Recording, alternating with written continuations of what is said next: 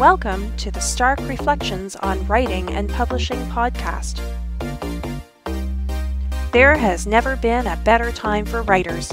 More information, options, and opportunities are available to you, but navigating these requires insight. Join Mark Leslie Lefebvre as he draws upon more than a quarter century of experience as a writer, a bookseller, and a trusted book industry consultant to explore and reflect on the writing and publishing landscape to help you make informed choices on your writer journey.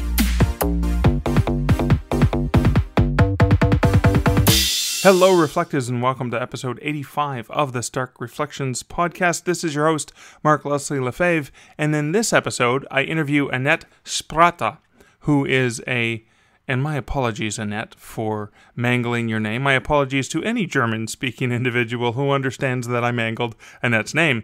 Now, uh, she did say it was acceptable for uh, folks from North America who regularly pronounce her name Sprat. Uh, but Annette is a author, who has written romance, contemporary fiction, children's fiction, is both traditionally published and self published, and is also a German translator who works with authors who want to get their books translated into German. And we have a wonderful conversation. But before I get into that conversation with Annette, I'm going to lead with a word from our sponsor, as well as talk about some comments from recent episodes. This episode is sponsored by Findaway Voices. Findaway Voices is an awesome way for you to get your audiobooks out into the global audiobook market. And I'm not just talking about the big players like Audible, like Apple Books, like Kobo, or even Google Play. I'm talking about additionally multiple library systems such as Overdrive, as well as half a dozen other library systems around the world, as well as retail locations that are popular with audiobooks that you might never have heard of. And they're all available through Findaway Voices. You can find narrators through Findaway Voices in order to produce your books, or if you already have the audio files ready to go, you can use Findaway Voices to distribute them into that global marketplace. And one of the benefits of Findaway Voices, one of the many benefits of Findaway Voices, is you can control the retail price on 95% of the sites out there. There are sites, for example, such as Audible, that will set their own prices, but you can set the retail price everywhere else, which means Findaway Voices is going to be able to enable people to do price promotions on audiobooks, which previous to them coming around was not really available. And you can find out more about how you can use Findaway Voices as an author over at starkreflections.ca slash findaway. The corporate sponsorship you just heard about pays for the hosting fees for this podcast, but it's the patrons supporting this podcast over at patreon.com slash stark reflections that pay for my time in producing the show.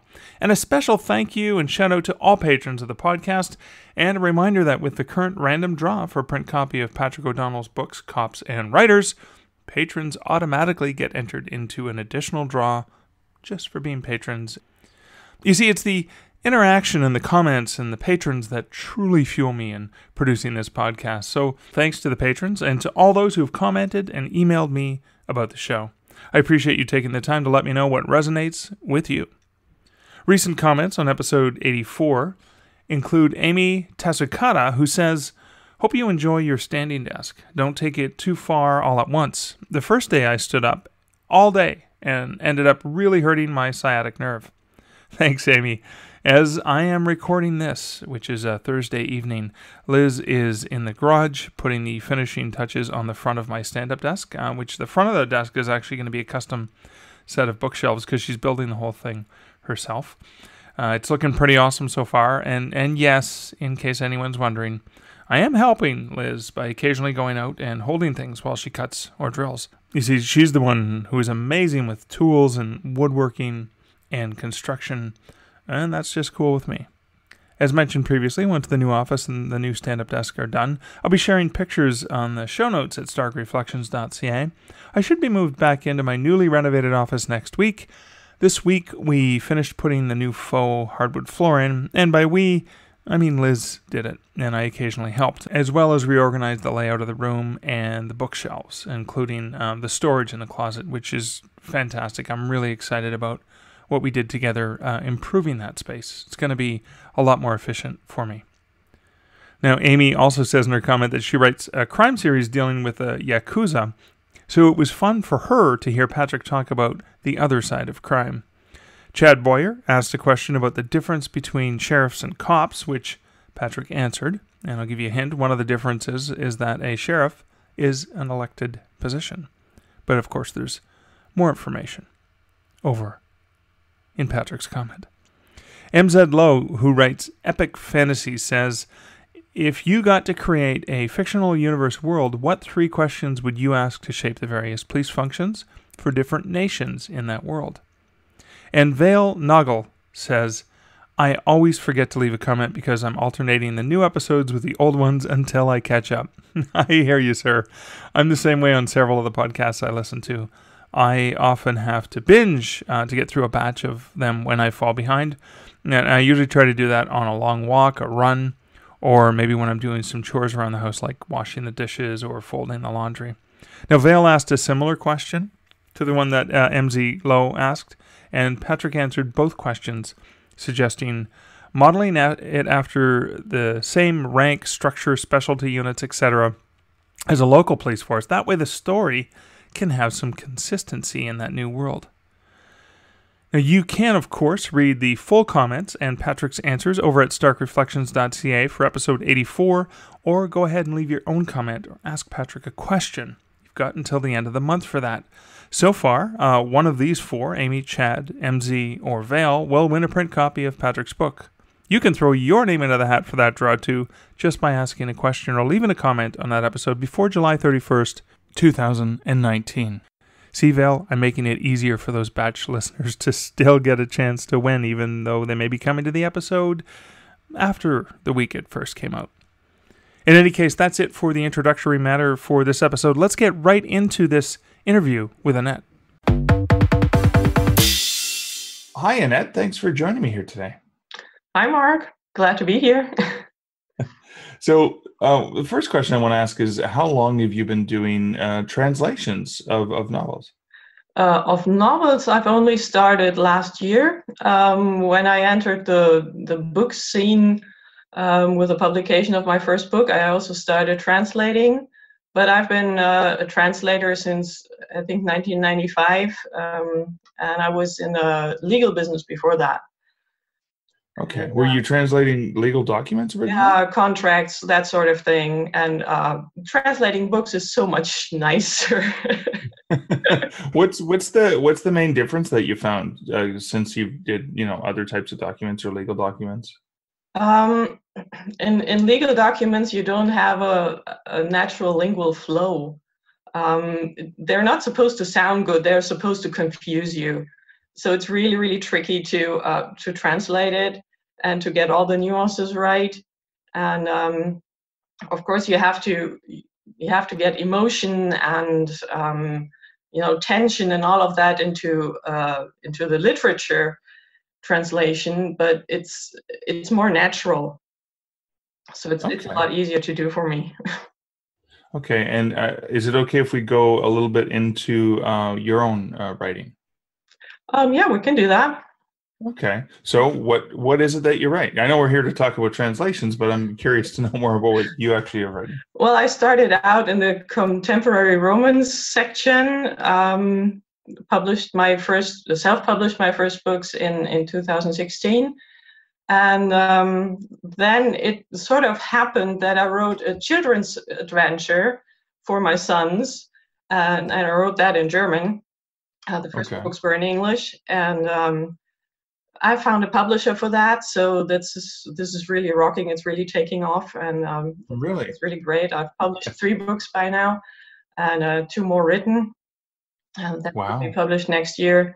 And um, now I've also written a con, uh, historical romance that I, it just wouldn't leave me alone. I had to write it down. now you were writing uh, romance in uh, in English. Yes. Okay, and how were you? So you're you're in Germany. Yes. Uh, how were you publishing? Were you going to Amazon KDP, or how were you getting the book uh, um, I started, I made a few mistakes, uh, beginner's mistakes. I started out with a, a print on demand company in Germany. Okay. Um, trusted them completely to to distribute the books in in America and everywhere. And then I found out that um, they charged almost fifty dollars for the print book in the states. I was like, what?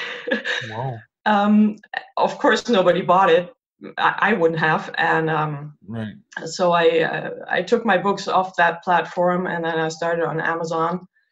And uh, my problem is that I haven't done any marketing to to be serious about. Right. Uh, so I'm I'm not really selling my English books, but the German books um, are very well taken care of, and now I'm focusing on that. I'm currently translating the English books into German to publish in German, and then we'll see what happens. Okay. Now, just for for you know a North American uh, audience, you you talked about print on demand uh, as the thing. Um, the German book market is really huge, and it's mostly print. I mean, ebooks are probably not as much of the industry as they are. Uh, print books are probably huge in Germany. Is that correct? Yeah, that's correct. It's uh, 46% of all book sales are print books. So the local bookstores are really the place to be if you want to sell books. And ebooks only make about 5% of overall sales. It's really amazing, but it is increasing. So that, that there's a market there that's expanding. Yeah, and, and and I do know. I mean, having been to the Frankfurt Book Fair, I know just how gigantic the It's The- awesome. I was the there last year for the first time and, and I was just flashed. It was immense. I never expected it to be that big. Okay.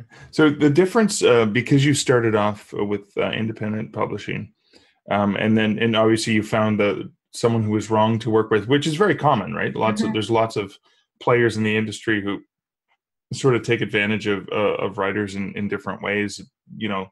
Uh, where you don't know, oh, here's what they do with your book in, in North America. This is how much they're charging. Mhm. Um, the difference between you know doing it yourself and then how did you find the publisher for for the children's book? Was it a picture book illustrated or like Um, no, it's, an, it's a Christian adventure book, um, age group around 8 to 12 years old. And um, that was through personal contact. Actually, my husband secured that deal for me because he met the publisher at a conference and really? told them about my book. and they said, well, send it over. And uh, I sent it. And one week later, um, she called me and, and told me those historic words. Um, I read your book and I couldn't put it down. Whoa! I was like. I, I still can't believe that happened. You know, oh wow! And those are written in German, right? those are and, written in German. Yes, and so Um, those books are if I- available through bookstores, etc. In, in they Germany. are in bookstores uh, all over the place, and um, they're doing all the marketing for me, and um, I'm getting invited for readings and stuff, and it's it's really amazing. It's it's a big difference if you have uh, a really good publisher behind you who will who will push your work, and they're really pushing. I mean, I'm I'm still stunned at how much they do. I've heard other people with with publishers who uh, who didn't do anything, and I was really lucky in that regard. Oh, and so you say there's three books out in that in that series already? Yeah, there are three books in the series, and two more will be published next year. Wow, that's exciting. So you've got this uh, traditionally published uh, children's book deal that's going really, really well. And now you've got uh, romance novels written in English, but now you're translating them to German. Is that correct? That's correct. Okay, and you're doing that because that's one of your specialties is is translation. Um, yeah, um, because with the success that's coming in in the German market, I'm thinking, you know, I should move in there. I should focus on that. And um, if it if everything works out well, then I'm going to translate all the other books back into English. that I have in German now, but, but I still have to wait for that. Um, Well, I can imagine that uh, the competition for independently published romance books in in German are, is probably not going to be as saturated uh, as it might be in in in the U.S. I think so because a lot of, of the books on the market in Germany are translations. Really, I- there's not a lot of uh, like native German romance. Um, there are, but there's a question of quality. Oh, okay. All right. So that's that. That's I, so you're you're a pioneer then uh, in in that regard, in in a very large book market. Um, I don't know if I'm really a pioneer. I mean, there are a lot of good books out there, and especially in the self-publishing area, there there are people pushing into that, and um, it's. I think it's expanding, and quality is on the rise, uh, with so much, so many authors um, really doing a very very good job. So. Um, okay. Well, let's get into translation. So, a lot of authors who are doing well in English, for example, are saying, hey, okay, so Germany is a huge book market. And obviously, in Tolino, can we just talk for a second about, uh, since we're on, on, the German book market? So, you've got Amazon as a huge player, obviously. Mm-hmm. And then Tolino is one that I'm familiar with because I used to work for Kobo and I know they're now part of the Kobo organization, but they're an amalgamation of a giant conglomerate of independent bookstores and chain bookstores and et mm-hmm. cetera, et cetera. How how prevalent is that to somebody in Germany? Like, is Tolino a brand that is known and recognized the way Amazon is known?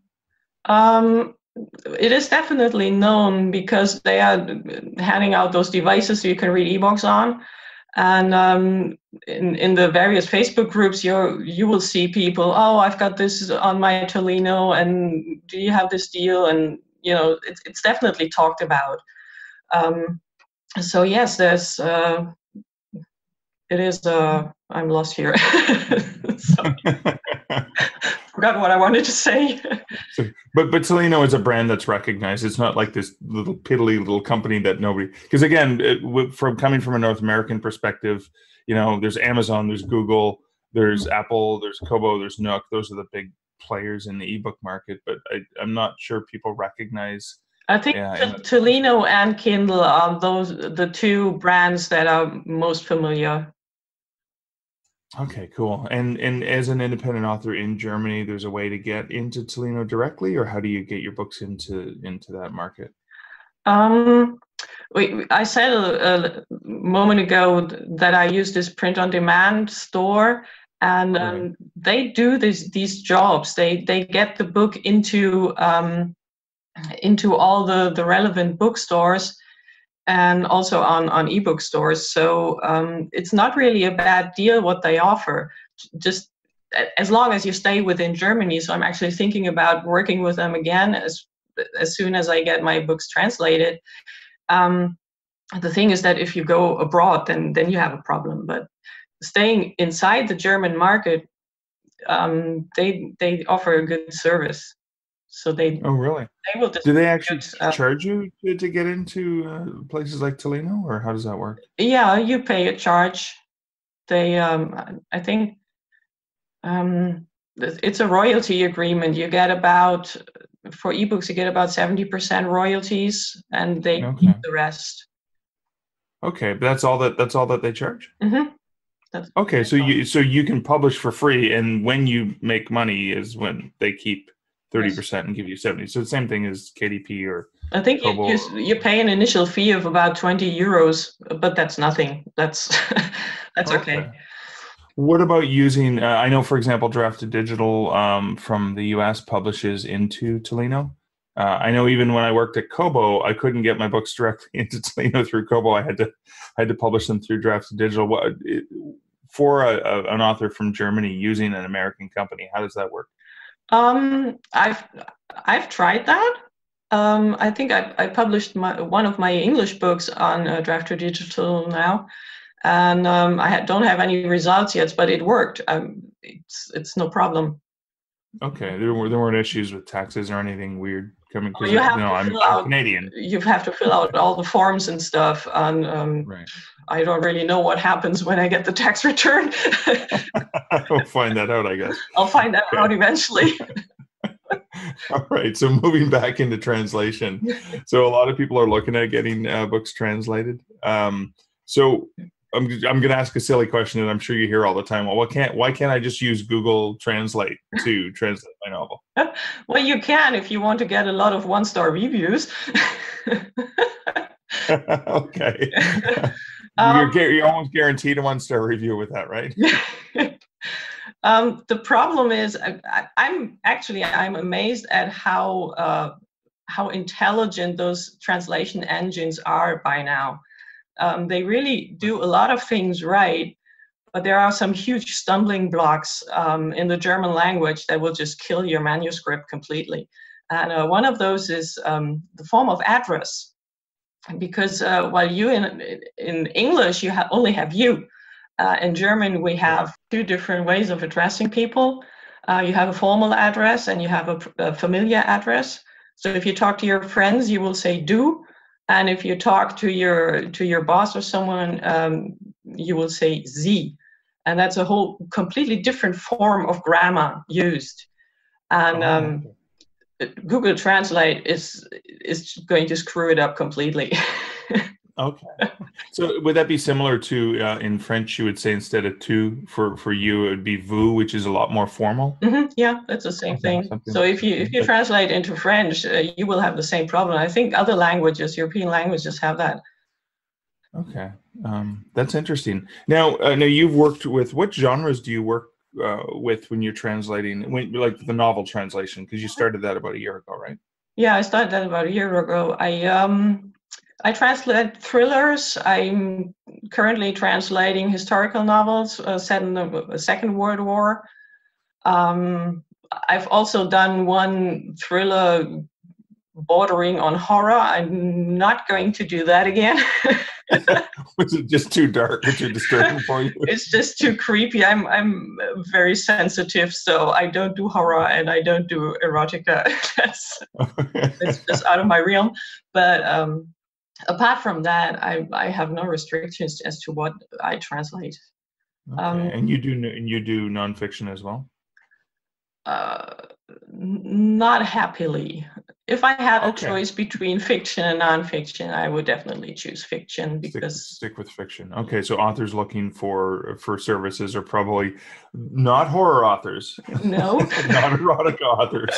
But uh, so I'm not going to have any luck hiring you to, to do any of my horror novels. Mm-hmm. So okay, sorry. Now, so what, what, what sort of research is involved uh, as part of the translation process? Well, especially with historical novels, you have to um, check for the right phrases. Um, for example, if you have uh, Second World War, the ranks of the Nazis were completely different to the ranks that we have in, in the Bundeswehr right now. So um, you have to research that. And um, there are also there are things um, that exist in the states. If it's a, a, a story set in the states, things exist in the States that don't exist in Germany. Um, I've had this in, in a college context where there was just an abbreviation and it was a, a RA. I was like, no, AR, RA. Um, I thought, what the heck is that? You know? so I had to research that. And I found it's an, a resident advisor. And I thought, oh, okay. So uh-huh. what does that person do? Um, because you don't have that in Germany you know and then oh so it's not just taking ra and translating. It's like well first of all i need to know what it is. Yeah. it's okay. Because if i don't understand it the reader won't understand it you know? Um, so i have to make it make it into something the reader can hold on to. Okay so how does that work? I mean, is that where you, you go back to the author and, and, and just say, well, what's the context here? I don't understand. Or or do they provide a glossary of, of, of certain like local terms maybe? Um, usually my first step is to go back to the author and ask um, if he or she is for some reason not available. I will um, I will just research. I found out what a Uber is. oh, there's no Uber there uh, in Germany. No, I had no okay. idea what that is. I still don't know exactly what it is, but I it's not a taxi, but something like that. You know, so it, it, it's it's crowdsourced taxi. Basically, anyone with a car can sign up to, to it's ride sharing sort of, but then mm-hmm. they, they get paid. And so some people that's their full time. The, the way indie authors can now self publish their works. if someone with a with a car can can can become a taxi cab, mm-hmm. uh, basically on on demand. So that's what it is. Um, um, yeah, I mean the last the last few times I've been in, in Frankfurt, it was either uh, public transit or, or taxis or, or mm-hmm. walking mm-hmm. to where I needed yeah. to go. Yeah, people so, actually walk over here. I know it's amazing. Uh, although ironically, it was kind of funny. My walk to the hotel when I got to Frankfurt Book Fair was not as long as the walk within Frankfurt Book Fair. That's just how big it is to get Yeah. from building to building. so I thought that was funny. Uh, sorry, I digress. so when you so you when you're working with an author, um, I've heard that it's important to use the same translator for all books in a series. You know, why would that be? Um, it is important because every author has his or her style, and so does every translator. So if you have uh, books in a series translated by different persons, the style will be a little bit off, and uh, readers will notice that, and they will be annoyed. So um, okay, so the voice itself is is obviously not. It's not just the story, right? Yeah, exactly. It's it's um it's always a, a matter of style, a matter of how uh, do I formulate things, how which words do I choose, um, which expressions are my favorites, and um, so that there can be really big differences between authors. I know that, I know the author who translated the Outlander series by Diana Gabaldon, and Mm.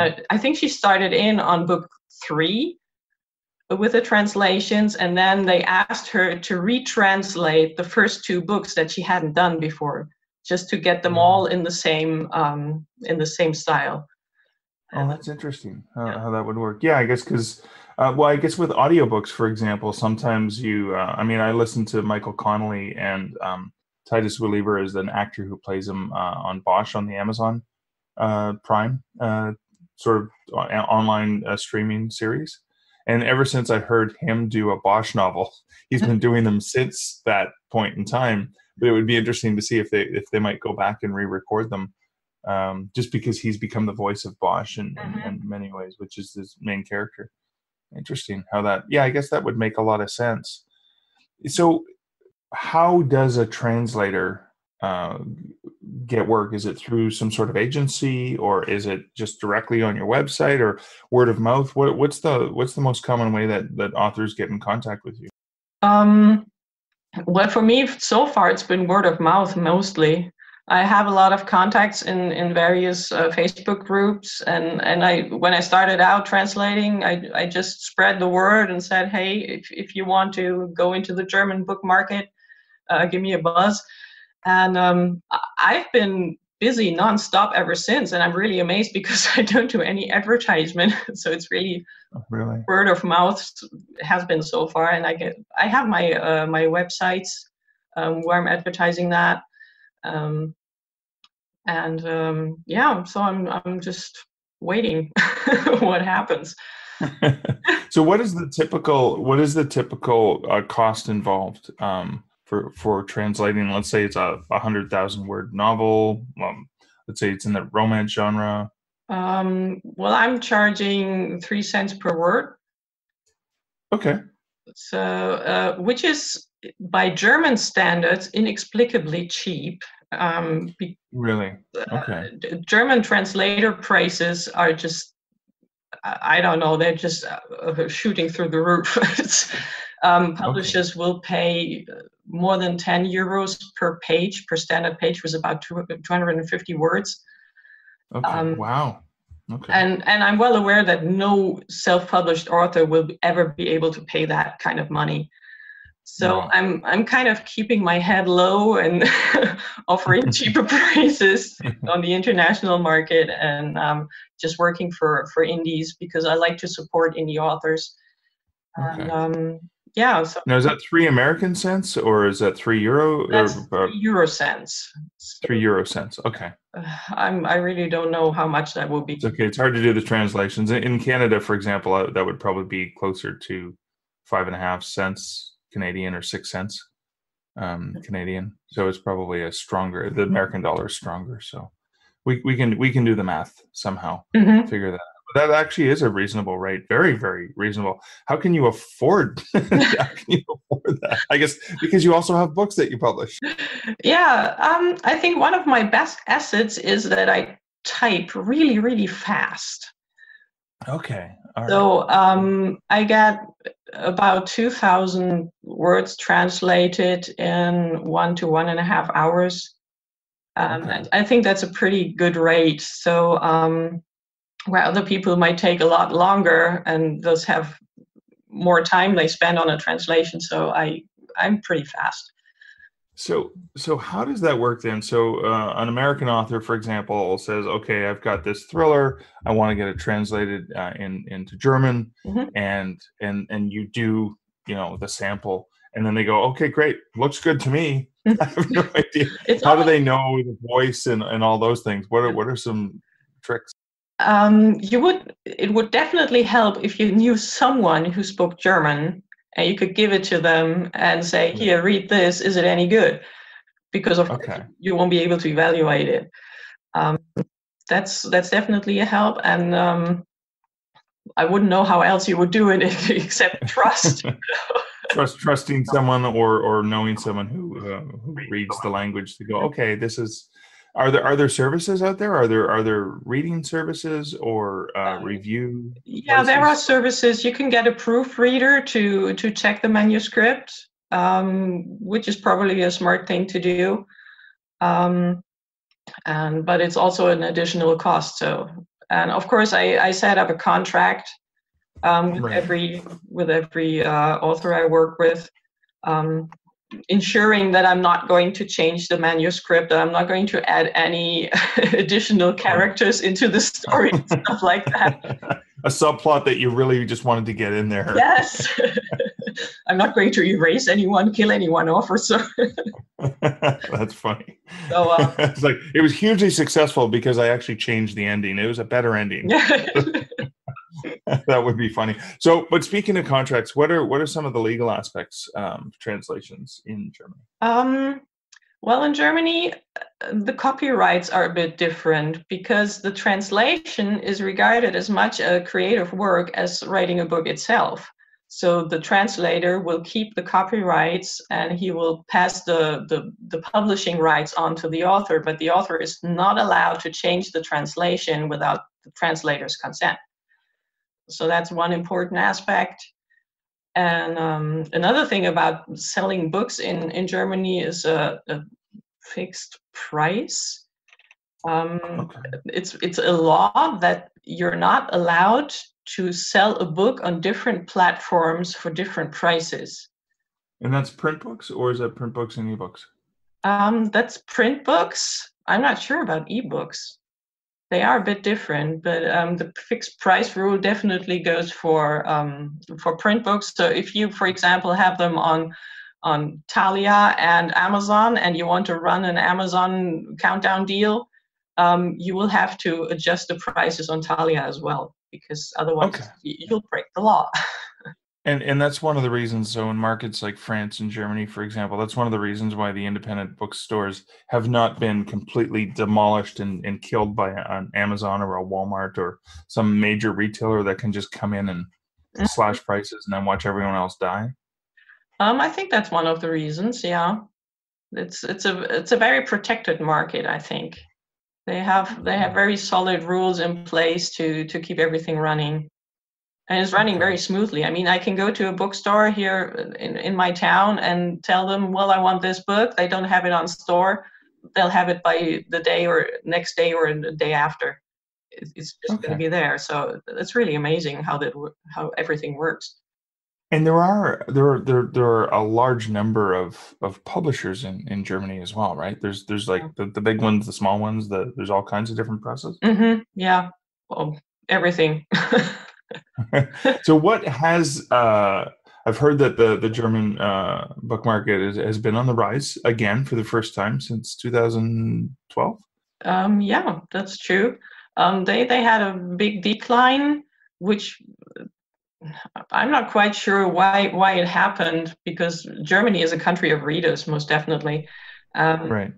but uh, I think there was a bit of confusion with all the, the new books coming up and self publishing and everything. And it just got really confused, and people didn't know uh, where to get books, how how to learn about new releases and stuff like that. So all the publishers and bookstores they got together and, and developed a plan how to uh, reverse this this development and they actually succeeded. They they have a lot more social media presence now to to show up new releases, and um, they're doing events much more than they did in the past. you know, bookstores do readings. Um, here in our town, a new bookstore opened up, and and they're just hugely successful with all the stuff they're doing, inviting authors and and doing all sorts of events, and that's really uh, pulled it around, I think.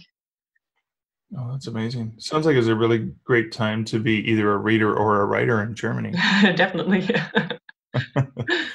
uh, so what what popular what are the most popular genres? So when you walk into a bookstore, are there certain types of things that are that are featured over others when like physically in a bookstore and then and I'm curious then about online as well. Um, well, Germans love their thrillers. So if you're a thriller author, you definitely want to get into the German market because they okay. read thrillers like crazy. Okay. Top genre. Uh, second place is romance, and okay. um, after that, it's it's I think distributed fairly evenly between different genres.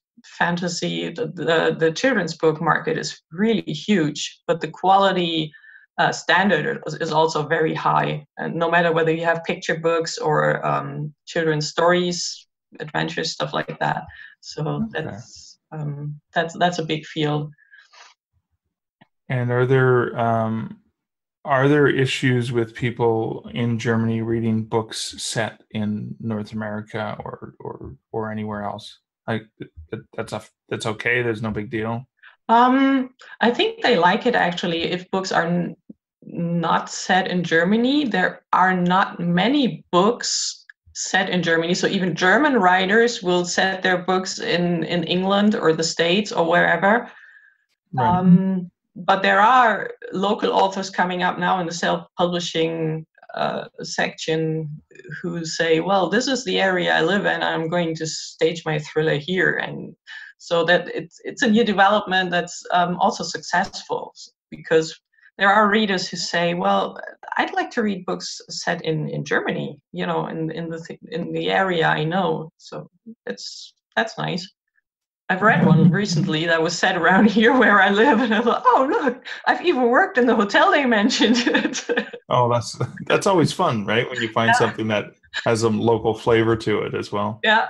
So yeah, that's that's really cool. Cool. Now, uh, for for the translations that you do, you, you do you prefer thrillers, romance? What do you what do you enjoy? Because you write romance, so is is romance uh, easier for you because you naturally that's just something that you already write? Um, no, I can't say that. I'm I'm a sucker for a good story, so I don't okay. care what genre it is. If it's a good story, I love it. okay, just as long as it's not too gory or, or yeah, bloody. Or, not too okay. gory and, and not too much sex. okay, fair enough. Uh, what is something uh, that you would love for people more interested in learning about the German book market? What is something that you think would be important for them to know or understand? Mm, uh, I don't really know. It's um, I think it's probably difficult for for someone who doesn't speak the language to to go into a market um, where you don't know how all the the publishing works, how the marketing works, how to reach people. So you would really need to get support from from you know not only translators but also from marketers. Okay. Are there marketing uh, outfits or services that you're aware of in, in Germany? That well, you know. Yeah, there are several. Um, I haven't tried them, so I don't know how, how good they are. If if what they promise is actually working. okay. But but there are a number of services who will uh, also help, try to help indie authors. Um, so you would have a have to take a look around. There's there's one a site I came across. It's called indiesgogerman.com. And um, there's a lot of valuable information on that site. So if you're really seriously interested in, in entering the book market in Germany, you, you have to visit that site. They have uh, video tutorials about the, the various things, publishing processes, about the fixed price rule, about copyrights, all of that is explained on that site. So no, that's great. Thank you. Um, now, the other last thing about the German book market is uh, so print books are still very strong mm-hmm. in Germany. Uh, ebooks are continuing to grow. How is the audiobook market uh, for like German? Are there German audiobooks? I really don't know um, because I haven't looked into that at all. I know that there, in the in the children's book area, there are a lot of parents who will buy endless books, uh, audiobooks for kids because uh, children love to listen to things while falling asleep. oh, okay. like being read to, right? Yeah, it's, it's like being read to, and um, so so that's definitely a market but apart from that i know that there are a lot of people who uh, listen to books while driving you know commuting to work and stuff so but how strong that market is i really don't know. Okay great cool. So and then the very final question is so people who are interested in learning more about you maybe checking out your children's books if they if they read in german or checking out some of your romance or novels or your translation services how are the best ways for people to find out more about you well, I do have uh, actually I have three websites, which is a bit too much, but I'll give you uh, the English one. It's it's called chatwithanet.wordpress.com, and um, you can link to all the other sites and you know get all the information from there. Contact me. Um, you can also find me on Facebook as uh, author Annette Spratte, and um, yeah, so looking forward to hearing from you. Excellent. And, and, and even though I've tried, I'm probably not going to be able to properly pronounce your uh, your name in the with the German proper inflection and tone. And no, uh, probably not. But I'm used to that. I live, I've lived in the states for a while, and I react both to Annette and Annette. it's whatever Excellent. language I'm currently in. well, thank you so much for hanging out with me today. Yeah, thanks for having me. Great. I was thinking about what Annette said about the subtle nuances in language and terms. She spoke about the differences of the formal and the familiar, or of a term that's actually not known. She said, for example, reading the term Uber in Germany meant nothing to her. She came to realize after speaking with the author that it was a kind of crowdsourced taxi service. But again, it's a term that means something in certain countries but might not exist or have any meaning in another. There's a really cute video I recently saw from Help Helen Smash TV. Now, uh, this is the persona of the hilarious Laura Clery. She has 5.1 million Facebook followers for this page. And in this particular video, she riffs on the, the different terms uh, with her husband that uh, English parents versus American parents use, such as stroller versus pram, uh, flannel versus shirt or washcloth a diaper versus nappy, lift versus elevator, truck versus lorry. Or in the UK, for example, it's called sweets. In the US, it's a candy bar. And in Canada, it's a chocolate bar. All usually referring to the same thing the same delicious sweet treat. Speaking of chocolate bars, in Canada we have something called Smarties, which are kind of an M&M style candy, so it's candy coated chocolate pieces. But in the US, the brand of Smarties are these little pressed powder pellets, almost like uh, Pez, but they're but they're round and they're rolled uh, into a tube, like a transparent plastic uh, tube shape that you can unroll from either end, almost like a um, almost like just a hard candy. Uh, now in Canada, those same things in that roll are called rockets. But also in Canada, we have Coffee Crisp, which is a chocolate bar or sweet or candy bar. but you can't get Coffee Crisp brand in the US. Now, these elements can be mistakes in the pieces that we write. For example, with me growing up in Canada, here in Ontario, I might be writing about a fellow who lives in Los Angeles who decides to go to the corner store, uh, or is it called the local deli, and, and pick up a bag of dill pickle flavored potato chips. Of course, I have friends in LA, and I know that in California specifically, and in most states, except maybe for the some of the eastern states and maybe some of the ones that are closer to Canada, you can't get dill pickle flavored potato chips. In in many states, you can't even get ketchup flavored potato chips. But that's something that we grew up with here in Canada.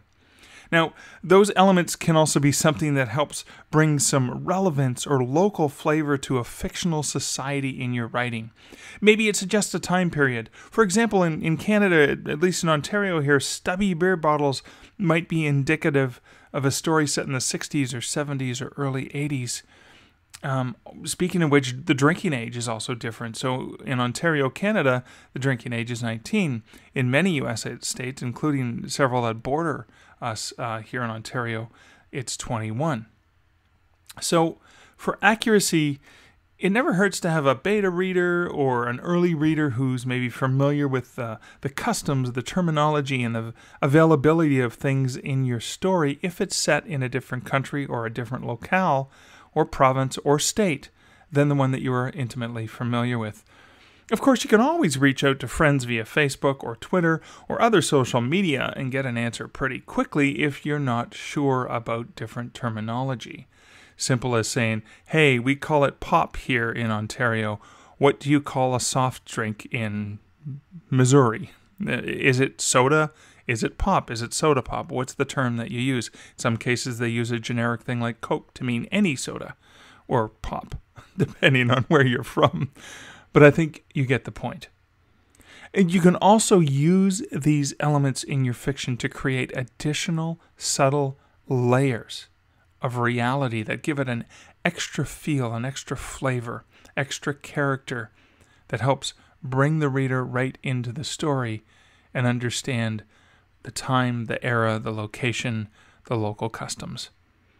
So, paying attention to those little things that may be setting pieces in your fiction can create problems, but they can also be used to create something that adds extra depth, extra layers. I hope you enjoyed that reflection. I hope you enjoyed this wonderful interview with Annette. Thanks for hanging out with me here in episode 85 of the Stark Reflections podcast. Again, this is your host, Mark Leslie Lefebvre. Looking forward to catching up with you again next week in episode 86. And until then, here's wishing you great writing and good Stark Reflections. Thank you for listening to the Stark Reflections podcast. You can find show notes for each episode at starkreflections.ca.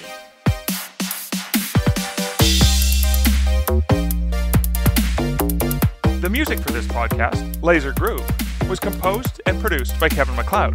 Check out more of Kevin's great music at incompetech.com.